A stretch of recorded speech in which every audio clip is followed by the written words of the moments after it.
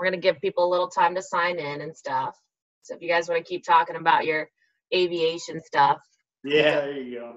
or we can keep talking about bacon. Yeah, Bryan's kind of a wing nut too, you know. He is. Yeah. Yeah. He's kind of geeking out talking about it. It was cute listening to you guys. yeah. All right, we're still gonna give people a couple minutes to sign in, but I can, can see you guys filing in here. Thanks for being here. All right. You guys don't want to keep talking? You were just talking it up before. Right. There you go. I always love the bacon conversations. Yeah, it's true. So Bryan and I were just discovered. We are just talking. So Bryan has a uh, a machinery's handbook from his grandfather back in. What did you say, Bryan? Thirty something. Well, he was he was it's from when he was in the uh, Air Force in World War II, and he was a C forty seven uh, crew chief, and and uh, he was the uh, line chief for the squadron. But I have his That's crazy. machinery manual. And now that I told you guys And to so, cut you off, because wow, yeah. and that's here. Here's the latest version of that book. Yeah. The same book that Bryan has. That's Mine crazy. has twenty, almost twenty nine hundred pages. His has thirteen hundred. Wow. See, now I feel like we should Great reference this for later, though. Yeah, I feel like this is interesting enough. We should talk about it later. All right. So hopefully everybody is in here. I'll go ahead and do a little introduction of the wonderful Mark Lynn, who is an SDI instructor. Um, you have you've been an SDI instructor for about four years now. Yeah. Is that right? I, yeah, I think that's about right. All right. It is. It-. It is. I looked it up. um, with oh, well over a decade um, of experience as a gunsmith, you're also a blacksmith. Yep. You write Yep. for an aviation publication. You have an aviation service. You're a pilot. Um, what am I missing? All you're all all around bad mama jamma, and I love that you're so enthusiastic. Yeah. what was that? Janitor. janitor, lots of keys, um, and and I love how excited you are uh, um, to be an instructor. I love I love how you feel about teaching and passing on knowledge. So we're going to get into some of that, but we're going to talk about what it means to be a machinist, um, how you can get the education you need, what you can do with it after it, and and some things that people might not think about when they're setting up a shop at home. So Sure. so everybody, say hello to Mark Lynn. If uh, if you're a student and you've been through some of the courses that he teaches, you probably already know him. But um, definitely feel free to use the Q and A because we are going to try to answer as many questions as you have.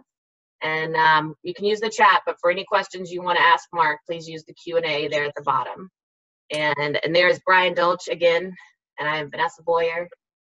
Bryan might pop in and out of here because that's what he likes to do. But hello to everyone. So, Mark, you want to start off and just, you know, say some things? Sure. Well, thanks again, Vanessa. I appreciate it. Um, it's uh, it's always an excellent opportunity to have a chance to to uh, to share some different knowledge and that kind of thing. Um, love what SDI has done. Have been absolutely just you know happy as as being an instructor as well uh, for the past few years. And uh, you know I'm real passionate about what I do. Um, anything from machine to making making things to to making gun parts. So uh, just want to open this up as as really uh, like we discussed, is kind of a question and answer session. And uh, everybody has a lot of questions and and you know setups and you know if I buy that mill or I buy that lathe, you know what do I need? How do I get it there? What kind of power do I need? Um, you know those kind of things. So be more than happy just to kind of open this up as a forum and please feel free just to start uh, pun intended, of course, firing over questions as you get them. Yeah, and if you have one, definitely pull the trigger and ask. That's true. That's absolutely correct. Who, who's who's going to kick us off with the first question? Well, there is a question that says, "Is it hard to do gunsmith machining?" From Floyd. Is it is it hard to do gunsmith machining? Man, I mean, it takes it takes a number. I mean, it takes a, a you know a good a good base, obviously, of of machining to learn to learn the basics of machining, if you will. Uh, to cut threads, to turn ODs, to turn IDs, to bore, to you know turn, to re, you know. So once those fundamental or rudimentary skills are, are obtained or are learned, uh, everything else just becomes a process. Right, for sure. Now, um, a question did come up in the chat that I saw, which I do recommend you guys use the Q and A so I see them when you when you submit questions. But I wanted to ask this question anyway. I saw it pop up. Can you really learn machining online? Boy, that's the golden question. Is I love that question. that's a great question, actually, too, Vanessa. And I'm sure you. I'm sure it's it's what question that's asked quite often. Absolutely, you can because you know, while we're not, we don't have the opportunity or the ability to turn cranks and and and turn knobs and and you know hands-on experience with the you know particular machines. Um, what we do have is the basis of the theory we do teach. Uh, so we do teach what's involved in milling, what's involved in turning, uh, what's involved in you know measuring, hand tools, and that kind of thing, and the process. So absolutely it is. And so I would I always definitely encourage all my students to you know further their education, uh, find a local VOTEC or a local community college that does offer uh, the actual hands-on basic machining class and intermediate machining class, and then obviously take them and or purchase their own equipment for their own shops. A lot of our students, I think, tend to become entrepreneurs and they start their own shops. And it's a real good way to, to learn is to go hands-on. Now let's get into that a little more. But beforehand, are you saying that people need to learn stuff before they're able to do it? Boy, I tell you what, that's that's that is the question, right? Yeah, right. Um, okay, so when you were talking about setting up your own shop in, you know, in your home, um, are there things that maybe a lot of people don't think about needing to do if they're Absolutely, there are. And first, you know, one of the first things is, is is finding that machine. While you can find machines new, you know, there are many, many manufacturers of new machines. I'm a particular fan of finding older older equipment. As you'll see, sitting behind me is a 1968 Bridgeport, and I tell you right now, it's hard to find, hard to beat uh, the old equipment. And I always like to equate this to to folks to say is, you know, this old equipment is temperamental and it's it, it it's it has its own soul, if you will. Um, but you know, to answer the question, yes, there are lots of facets um, to think about. First, how are you going to get the machine into the shop? Uh, this I'm gonna particular pull up- bridge, I'm gonna pull up some pictures while you say this. Sure. This particular Bridgeport behind me weighs about 2,700 pounds. And, you know, an average garage, um, you Oh. know, garage workshop that somebody might start in Sorry, Uh, I'm on the wrong picture, but keep talking.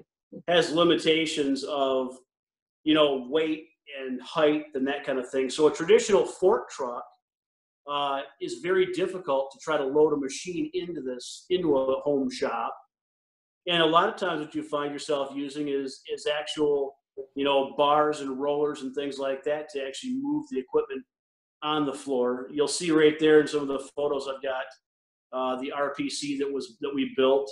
Um, uh, rotary phase converter to power the machine. Sorry, we're kind of getting off on a tangent here. To go back to the original question was to get the machine into the shop. You know, it's tough to use a traditional fork truck. It's tough to use um, heavy equipment to get in there. So you find yourself improvising using things like bars and rollers and that to get the machine into location. Uh, again, with the weight that these things weigh, you know, 2,700 to 3,500 pounds, um, you know, and they're they're very top heavy and you know you got to be careful getting them in a position. Secondly, is power requirements. You, you just had a photo there of the, like I said, RPC that we built, rotary phase converter. So the motor that's on the ground is actually the generator. So you'll see the generator motor there, and all of the boxes up to the left-hand side, the black box there, is a bank of capacitors, microfarad capacitors. And what we do is we use those capacitors and an MCL to actually tickle uh, the third phase off of the generator motor that you see on the floor. Pretty complex uh, theory to kind of get involved over a webinar, but please, if people have specific questions as to how this works, I'm more than happy to answer emails or phone calls. So those are the things that you know kind of keep in mind is getting the machine in place. How do you power it? you know, 220 single, 223 phase. I my entire shop here, um, I have piped and wired, so I'm generating three phase power in this particular shop. My vertical bandsaw, which is a dual, is three phase, 220.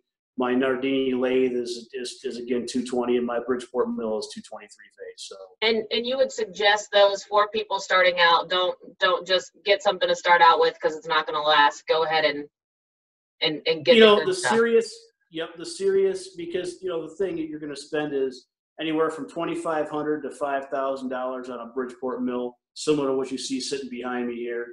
Um, and you know obviously 5000 is kind of the, the the higher end of it. You're going to get you know digital readout which you see to the you know mounted off the machine. There's tooling vices. I mean the vice the current vice that i have on this machine itself is about a $500 vice itself uh, end mills, fly cutters, um, all the tooling, collets, boring, you know, boring heads, boring bars, um, all the you know associated tooling. So there's quite a bit of stuff to go along with setting it up, but keep that in mind when you go to make the initial purchase. Mark, I had a, But you would have that question associated with first. The, Mark, there's a question that actually popped up from Arval. Uh, can you explain one phase, two phase, and three phase electricity? Electricity. Yeah, so your standard most uh, your your standard uh, household current in the U.S. 60 hertz, 220 volts, uh, single phase. Okay, these particular machines run on three phase power, so you have three three phase three three hot legs or three three three hot leg phases, if you will, that it requires for the motors to run.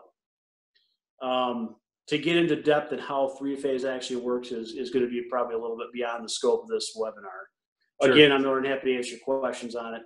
Um, but just keep in mind your standard household uh, current generally is 220 coming in at between 100 and 200 amps, single phase power. We need to convert that for these particular machines, not all, but the industrial surplus machines come in and they're generally three phase, 220 three phase uh, motors. Cool.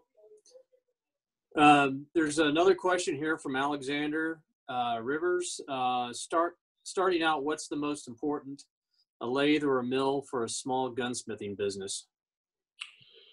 Man, I'll tell you what, that's a good question. It's a very, it's a common question we get asked. Um, I would say either one. If I was going to be recommend for a beginner, uh, I would say a, a mill. I, I think a mill is is a very versatile machine. I think milling to learn milling is probably um, one of the either turning or milling is going to be a foundational or rudimentary skill, but probably milling would be an easier way to get going. And that kind of goes right into Jonathan's question of can I get away with a mini mill or is a larger mill recommended to start out?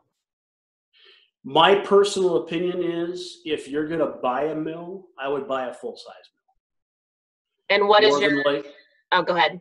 more than likely you're going to get the mini mill. and You're, you know, man, I'll tell you what, it's got a lot of limitations. To where if I had a full size mill, I wouldn't have those limitations. Right. So you know, as the old saying goes, buy once, cry once. Um, or you know, you could buy it twice. and cry and cry twice. No. Yeah, it's true. And also, what kind of lathes do you recommend? Um, I have a fairly large lathe for the shop. I have a 15, 16 Nardini, so I have a 60 inch, 60 inch in length, bed length, and it can accommodate a 15 inch swing. So the the the headstock will will accommodate a 15 inch uh, piece of material, which is a very large. But I do other things in my home shop as well that require larger, you know, a larger swing. That's why I have it. But I mean, a standard, you know, 12, 13, 14 inch you know, 30 inches long, 40 inches long, uh, would probably be ample for most home shops. Actually, larger than you know, more than more than more than enough. Awesome. Bryan, I don't like to be limited. Oh, what was that? I said I don't like to be limited. Yeah. No, apparently, yeah. Yeah. Seem to have pretty much everything, and you do everything. Correct. Yeah. Well, I like to think so, anyhow. Yeah. I think so. Yeah. Awesome. So, how did you get your start into machining? Wow. So I started, uh, I started actually in the automotive sector. Um, you know, when I was growing up, I had a paper route. You know, back in the day, we didn't just flip on an iPad or a computer and a phone to look at to, you know, get the news. What's a paper? That's right, correct, exactly. And so, you know, there was there was local paper boys. But anyway, so I, I transitioned from being a paper boy, literally, um, to working for an automotive machine shop. Um, and I was lucky enough at 16 years old, I started I started at the very bottom. I started sweeping, cleaning, painting, um, oiling, greasing machines. And then, you know, as a young man, you know, your interest starts getting piqued a little bit and going, man, what does that machine over there do? And so you start watching and listening and, and, and learning more about it. Well, I ended eventually segued into learning how, learning the basics of, you know, milling heads, milling engine blocks. And it just kind of progressed. And I've always had a big passion or a big interest in the machine shop or the machining end of things. And all the way through high school, I continued to work in the machine shop, moved away from the machine, the automotive machine shop into more of a manufacturing, traditional manufacturing, uh, operating big things, bigger, larger boring mills, uh, Bridgeport mills like behind me, lathes, uh, that kind of thing. But just kind of, I never really thought. I was a kid. I always wanted to be a pilot. You know, was just a little kid growing up. You know, re, you know, any red-blooded American kid, you know, see an airplane go overhead, you're looking up.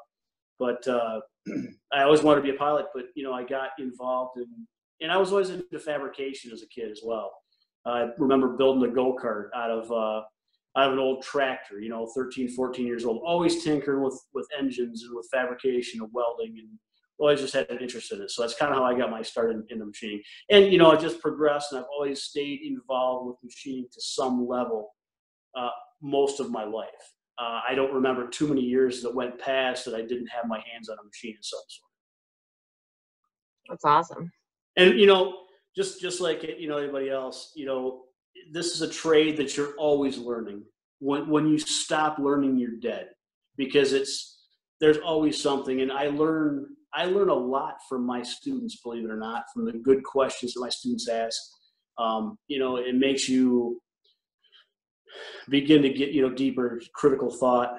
And so eh, believe it or not a lot of questions a lot of that actually you know go gee i got to research that a little bit. I never thought of that.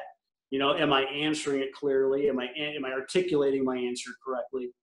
And you know what could be a challenge is really what turns into being a, a larger way for me to learn as well. So it's always you know every day's a school day as gene winfield would say Awesome. And I assume you have people that you can still reach out to who are your mentors and people like that. Absolutely. And I'll tell you what, I reach out to them regularly.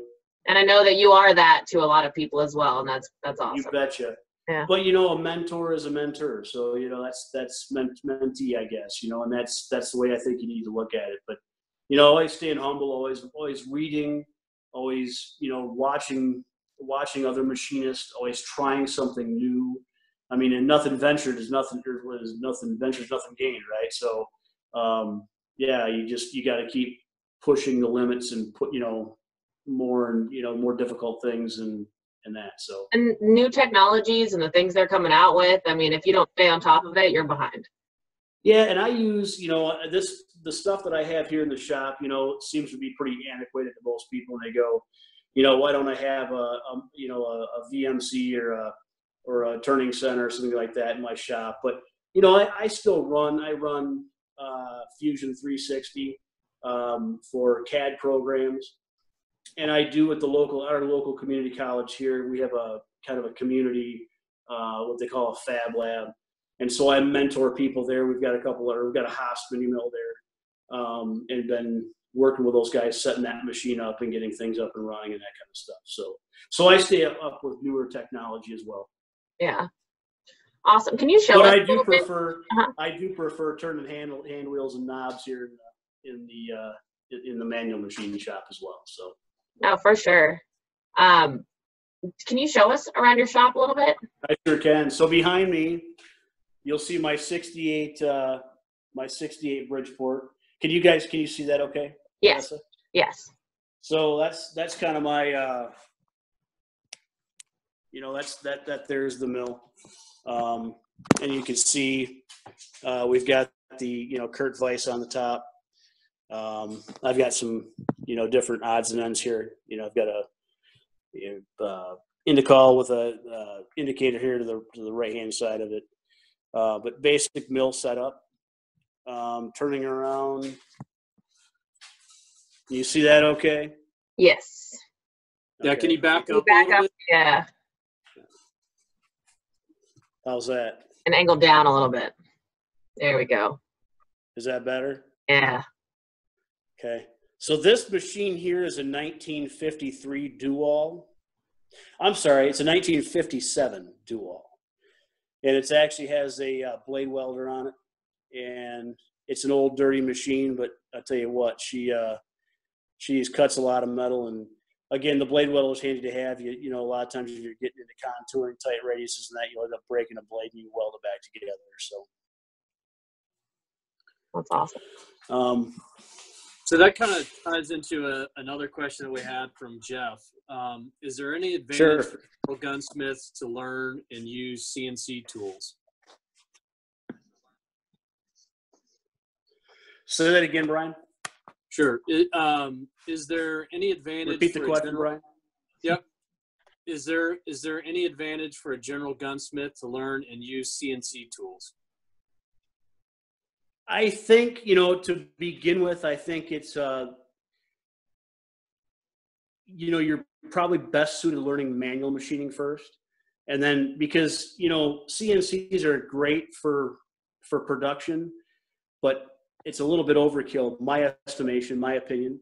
Other people have other different opinions. My opinion um, is the manual machine shop is going to be for the everyday gunsmith, unless you're going into production um, really, I think you're best suited with manual machines. The uh, CNC machines tend to be, again, they're great. They're, you know, it's newer technology, but there's more things to them. Obviously, you've got to draw things, you've got to program it, and then you've got to machine it. Um, again, has its pros and cons, but my opinion for a, you know, average everyday gunsmith, manual machines are the best. Awesome. Super cool. Bryan, you got another one? Yeah, there's there's If- a bunch on here. And I was Uh, gonna say if not, I can start reading. yeah, no. Um, we did have a question about, uh, you know, if doing the class, if uh, it, uh, David asked, how are we graded on the machine uh, if we aren't physically machining? How are you graded? So, how I grade is on obviously on the comprehension of the material and the theory. Um, and so, it being, I like, you know, my opinion is uh, it's not just a standard cut and dry, um, you know, nothing against it, but it's not just a standard math class or a science class where there is necessarily a right and a wrong. It's more of a concept. Um, so we actually, I actually grade on the understanding of the concepts that we are teaching at that particular time. Does that make sense? For Yeah. sure. Most definitely. Uh, we got another one from Jonathan. Um, what's the, what is the theory on ample ventilation for your shop? Um, I have my doors open most of the time, and so we're in a cl- colder climate here as well. Um, in Michigan, I'm in Michigan, so we I have a box fan that I use in the wintertime in a in a smaller opening in the door to evacuate uh, dust um, and you know the mist and that kind of thing. But generally, if I'm not doing a lot of actually welding, and if I'm not using a lot of flood coolant, there's really minimal uh, amount of dust and um, particulate that uh, that really needs to be filtered out of here. Um, can I go back to um, the the course itself and you as an instructor? Can you kind of Sure. walk us through the topics that'll be covered in the class and the and the basics here behind how it works? Sure. So you know we cover the the text actually covers uh, milling, turning, Um, we get into some metallurgy. Uh, we get into some SOP, so standard operating procedures on running a machine shop, which I mean, it's very, very important. In fact, we take care of that for the you know week number one. And so what I'm looking for there, and you know, on the discussion boards, um, is concept. You know, what are we looking for for PPE? Are we encouraging that we use, you know, gloves in a in a drill press? Absolutely not. You know, gloves have a very, very limited um, place in a machine shop. So we cover some shop, you know, operating procedures. Uh, we cover milling, we cover drilling, we cover, we touch on a little bit of welding, uh, a little bit of metallurgy, you know, heat treating. Um, but again, it, it gets pretty theory in depth, and it's a good way. It's a good place to start. A good place to, you know, begin and coalesce upon, you know, as you progress through. Um, so we cover kind of all facets um, and not necessarily we'll tie it back to gunsmith work you know threading the uh, threads for a muzzle brake and this and that the, the thing you have to understand is we want to keep it firearms focused but we also need to make sure that what we're teaching is theory that will move into that if that makes sense Right. Because it applies to so many things. You can do so many things with it. after. Right. Because I mean, boring is boring. okay, and and so once you learn the theories of boring, whether you're boring on a lathe or you're boring in a mill, um, you move that, you segue that into okay, we're boring in a barrel, or we're, you know, we're milling, or we're turning, or we're, you know, however, you know, uh, contouring, or we're turning a barrel. I mean, these are all concepts we cover in the course, and what I'm looking for is the mastery of what things are. And you know, obviously, um, I have to work within parameters, but I try to be lenient as long as we're driving a point home, if that makes sense. Because I mean, we could get very, very, very particular and very, very, technical, but I don't think that does a student any good. I think it, it we need to look at the broad scope of it and dissect what they're saying.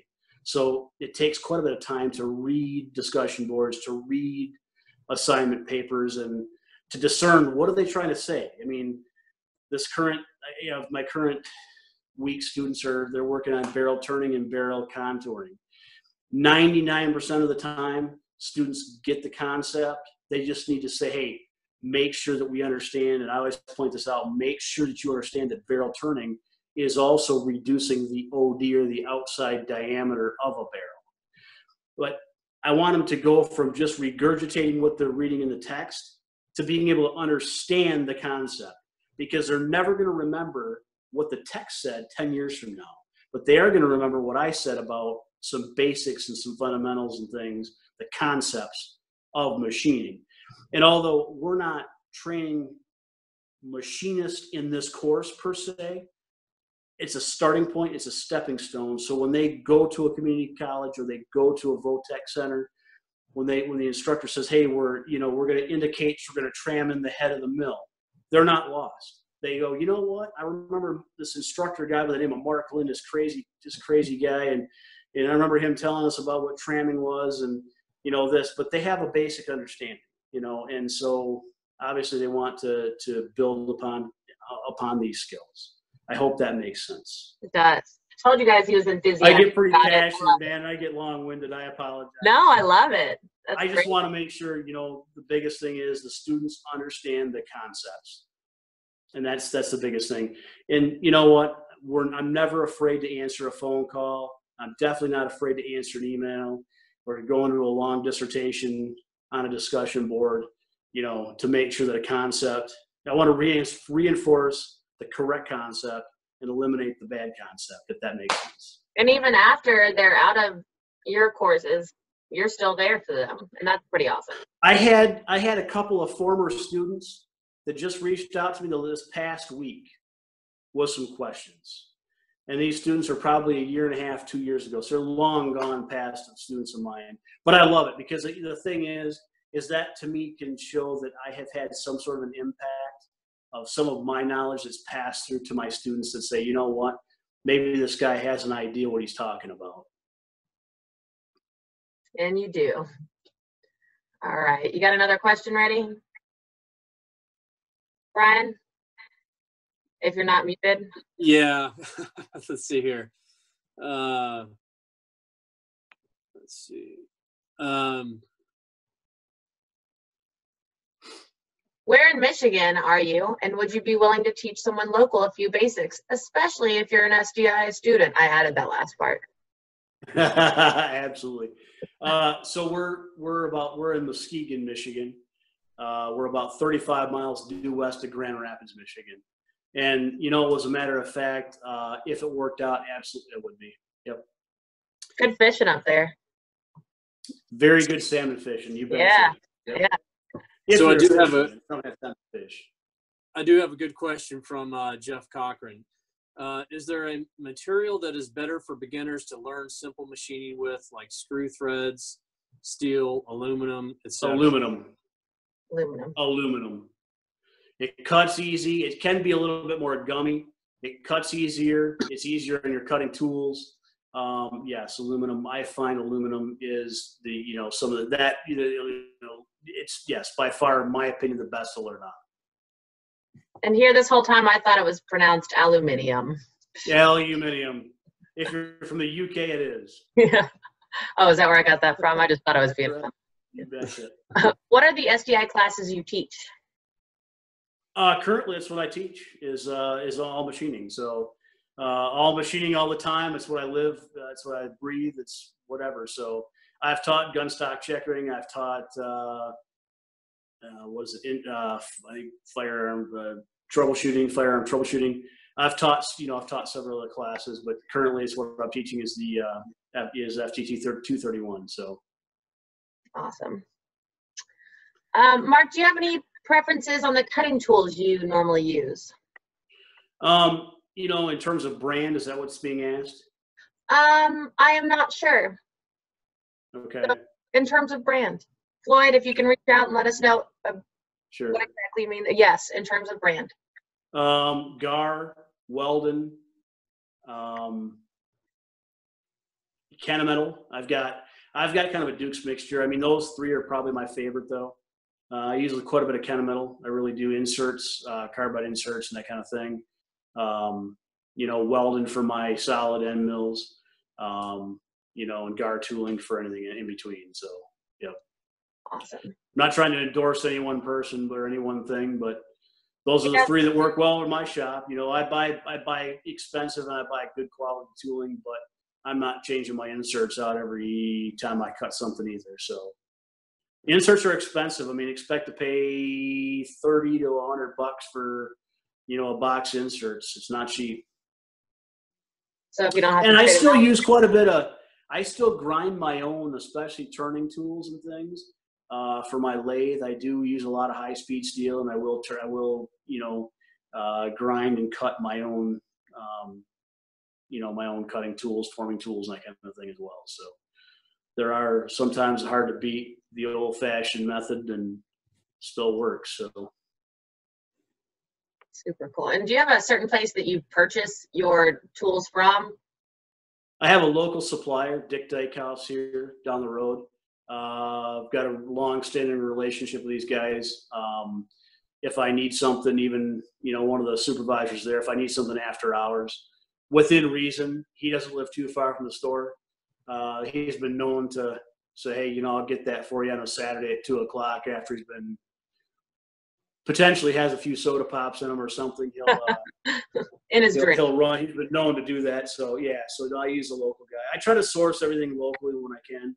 Uh, I'm a lo- I'm a small business myself, and and so I try to patronize uh, small business as well. So For sure. And what are your thoughts on Grizzly machines? Um, You don't have to answer.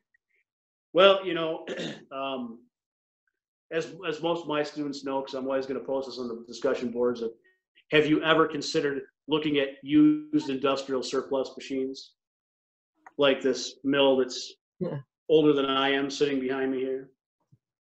And definitely the old bandsaw that's way older than I am, sitting over to the side of me here. So that's my opinion of that. And Although, I mean, there's nothing wrong with Grizzly. I think Grizzly makes a decent. I've never had you know, personal hands-on. There are some advantages. Grizzly does make a nice gunsmithing lathe. From the reviews and some of the videos I've seen on it, I have never used one. Um, but you know, they've got some outboard things and some ways that you can mount spiders and things on the out, outboard side of it. And there, there are some decent things in that. So would I be afraid to try one of those? No. I'm just pretty particular and, and stuck in my old school ways. I just go with old school equipment. So And it looks so cool.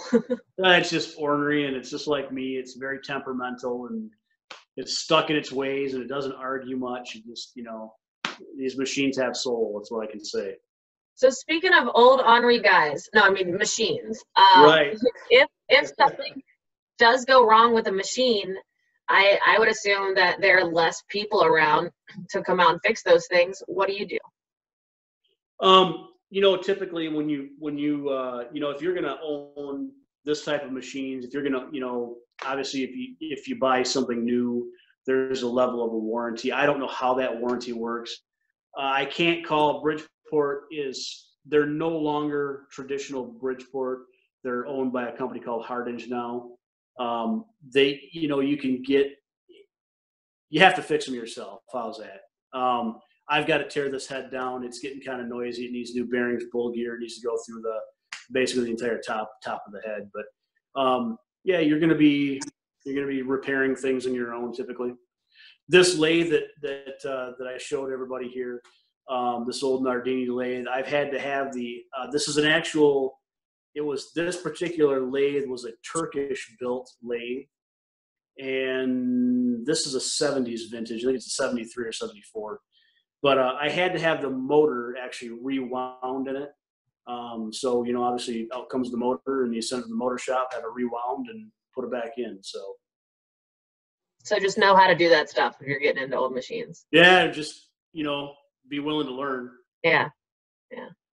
I think So we're everybody on here is, so that's good. I got a question from Sebastian. Uh, how do you determine what materials uh, you use during a job and how do you acquire them?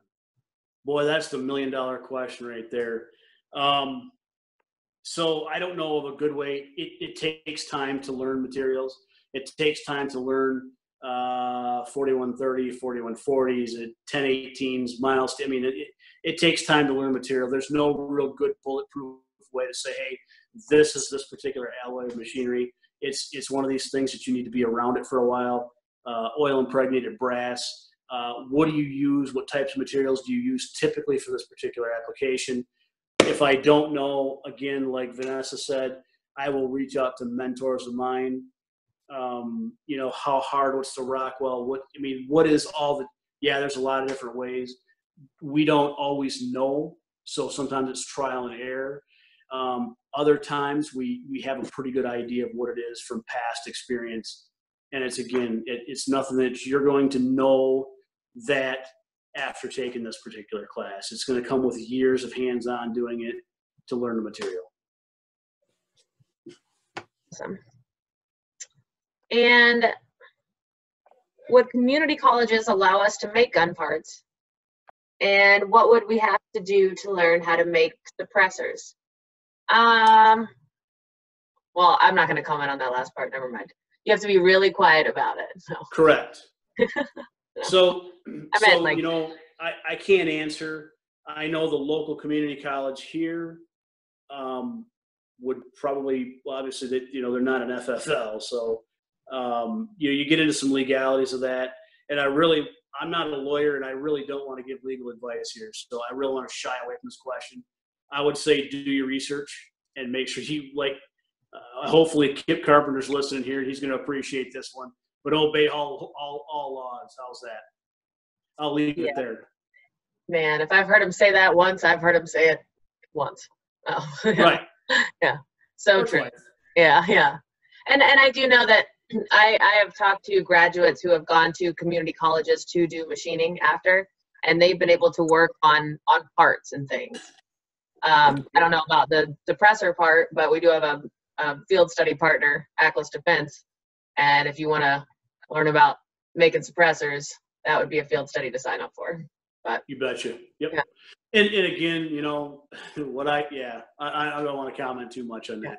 Well, it's just suffice to say that K baffle suppressors are not uh, foreign to us. How's that? Yeah, yeah. All right. I got another one here from John. Uh, there's one gunsmith in my area, and he is not hiring or offering apprenticeships. What machining industries can I get experience in that give me valuable cross training knowledge and experience? Get your hands on in any machine shop that you can. That's my advice. Um, I've even offered. I've even. I've even had students. I've. I've same thing. Well, nobody's hiring a brand new guy that doesn't know. You know. You know what? If you want to do it bad enough, go to that shop or go to those shops and say, "Hey, guess what? Do me a favor. Can I sweep your floors for two weeks for free?"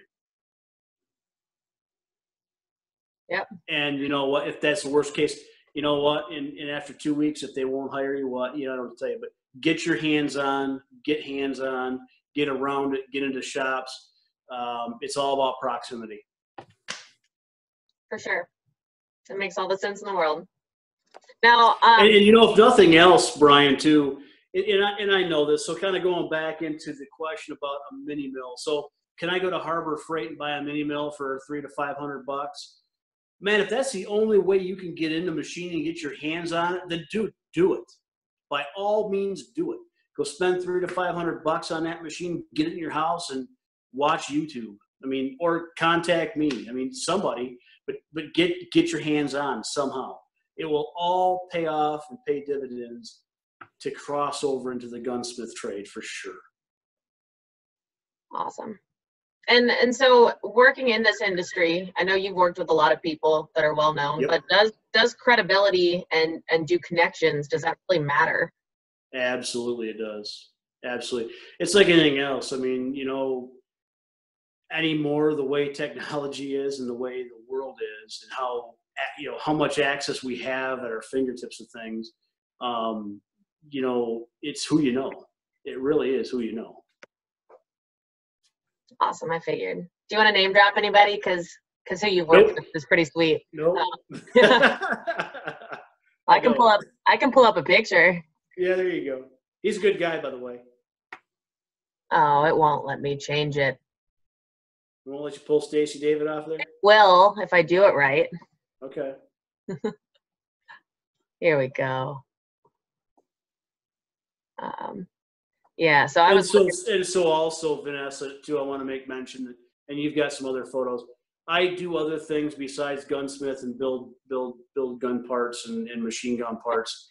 Um, you know, I fabricate uh, motorcycles uh, from the chassis up, so I bend the tubes and and you know and build the bike. So Stacy's been this guy here. Stacy David has been a great guy. Uh, he's standing. Him and I are standing behind uh, or in front of Sergeant Rock there.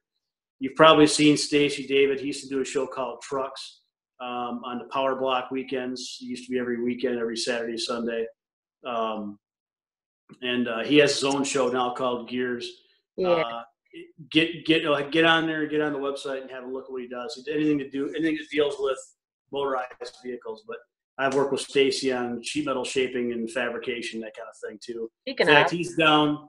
Vanessa, I think, are you you're in you're down in near Tennessee, right? Is that correct? You're in Tennessee. I am. So I'm you've heard of Franklin, Tennessee, Oh yeah, and you've heard of White House, Tennessee. of course. So this so this Yankee's been down to White House and to Franklin quite a bit. The last time I saw Stacy, he moved to his new facility in White House. So Oh uh, yeah, they. I have. I I am familiar. I actually know where they are. Believe it or address, Stacy- but I'm going to stalk them. You should. And you know what? Stacy's a good guy. Stacy actually is from Utah. He he came to Nashville because he was he was trying to get a gig playing guitar. It's like so many others, and, and he actually is a very good guitar player. But he ended up making it more in uh, fabrication and TV, you know, build shows. Wow. So Well, if he made it doing that instead of guitar playing, that means he's a good guitar player. No, I'm yeah. sorry. but he's an interesting guy. So yep. Awesome. So, is there anything that you want to close out with? A little bit of, um, you know, advice or anything we didn't touch on that you really wanted to hit? We can do a part two if, if you know, we haven't really answered all the questions. Well, I tell you what, yeah, we could, you know, I'd be more than happy to do that if there was the interest out there to do it. Um, but I mean, get get your hands on, get get hands on any way you can get your hands on it. Um, and you know, it's all about fortitude and it's all about, um, you know, desire. Um, you know, remember the guy that gave up, you know, I, I don't, and I'm sure you don't either. Nope. So, you know, get out of, you know, get, there's, there's always time. Yeah. We got to work eight, ten 10 hours days, but you know, after hours, instead of sitting in front of a television set, you know, try something new or you know, like I said, go sweep somebody's shop for, you know, give, give, you know, to give them an opportunity, give you an opportunity, you know, it, it, you know, do what you got to do to get in front of it. I, I kind of have a, a question that I just thought of. Is there any associations these guys could get involved with without having any experience? Um, no, but there's quite a few. There's quite a few Facebook groups. Uh, there's Bridgeport Mill Group. There's uh, you know just uh, home machine shop group. There's a lot of Facebook groups. There's a lot of YouTube videos. Um, you know, as many of my students have, have always pointed out, hey, there's uh, you know, there's you know, there's there's this person, there's that you know person on YouTube, so on and so forth, and um, um, and so you know, reach out and take a look. So Awesome. I don't know if you guys are reading it, but um, apparently a lot of people are interested in a part two. So Well, if we if we can do a part two, I would be more than happy, Vanessa and Bryan, to do a part two. You know, and and uh, if there's a way to field, you know, questions ahead of it, um, you know, we could we could do it. Could we get a machining demo too? I like that question. Yeah, yeah, that's very possible. Um, you know, to do to do a, a video or to do you know an interactive kind of thing. Um, you know, a, a machining interactive, you know, video that's very very possible as well. So. awesome. Well, we'll send out an email beforehand and we'll let everybody submit questions and, and anything we didn't get to, we'll try to get to then. I also, see everybody's going demo, demo. yeah, yeah, So, yeah. do we have any other burning says- questions, or we gotta?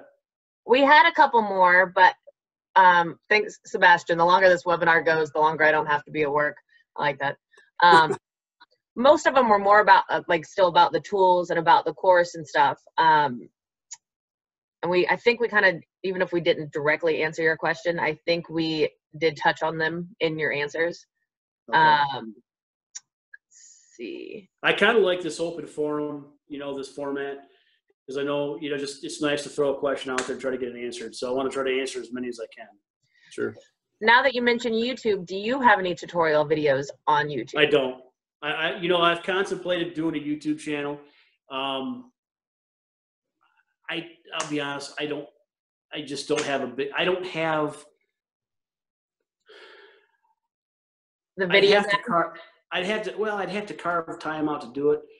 I would do it if there was a big. You know, I would be interested in doing it. I just haven't done it yet. How's that? well, I will work on helping make that change. There you go. Yeah, we could definitely do that. I am on. I am on. You know, Instagram as well. I do post projects and things, airplane stuff, and you know, various other things that I'm involved in. I post on on, on Instagram. So and what's But, your you know- Instagram handle? it's uh, mal two five one six. All right. Awesome. And you know, the other thing too, Vanessa, is you know, if people have questions, you know, you can put my email address out there as well. I'm more than happy to answer them.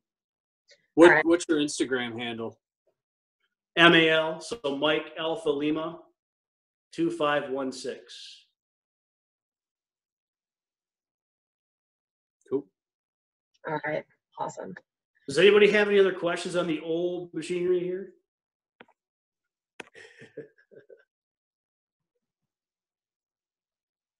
No? No questions? Okay. Uh, we will have more. All right. Well, let's do this again soon. Thank you again so much, Mark, and thank you guys for for being here and for asking all the questions. And we'll see you uh, at the part two. Excellent. Thank you, Vanessa.